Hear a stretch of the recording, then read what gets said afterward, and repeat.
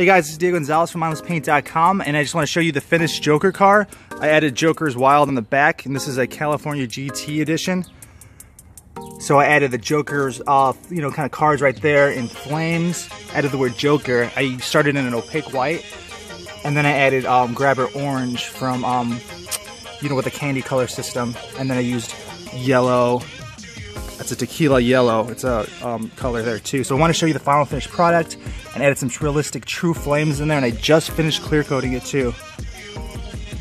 So here's the car, the whole thing finished finally. And um, my buddy Paul has actually drove it out here from Texas and he's gonna drive it back and uh, kind of, you know, finish, you know, we finish all the little parts on there and make it perfect. So that's the flame job and I'll show you the front in a minute. California Special GT Edition. Awesome car, dude. This thing is sick. And then here's a front hood with a Joker on it. And if you guys seen the shoot I did with the Joker in the video,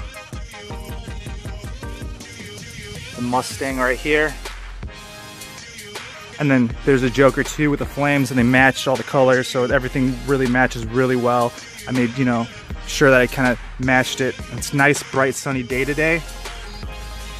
And then just have to buff out and polish some of this clear. But other than that, the artwork is solid. Paint job came out great. So thank you guys for following me. Appreciate it. Please sub, subscribe, and share this video to anybody that wants to see it. And uh, if you want to learn, you know, airbrush tutorials and videos, I have them.